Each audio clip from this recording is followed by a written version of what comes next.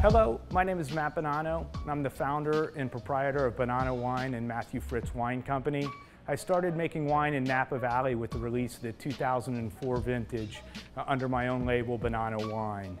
I custom crushed and produced those wines in Rutherford, and I work with many uh, small growers up and down the Napa Valley. Cabernet is my flagship wine. However, I do make Chardonnay as well too.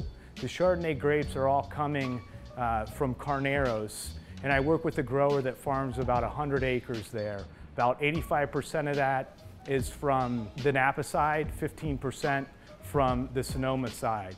And when I started Bonanno Wine, my goal was to produce wine that is fruit driven, really clean, fresh, and authentic to Napa Valley, um, authentic to uh, you know the region and to the style of grapes that are coming out of there.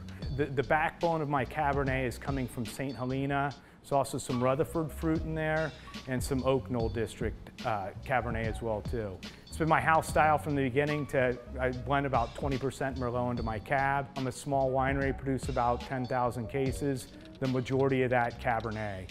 Um, and then Matthew Fritz, I started that wine in 2009. Started that with one of my best friends in the wine business named Fritz Stuhlmuller. And our idea and our goal was to combine our experience in winemaking, our contacts with grape growers, wineries, and winemakers, and really source fruit from the North Coast, um, anchored in Sonoma, with some Mendocino fruit in there, and we also get some cab from Lake County, and produce wines that are fruit driven, you know, fresh, authentic, and really uh, uh, true to where the grapes are coming from.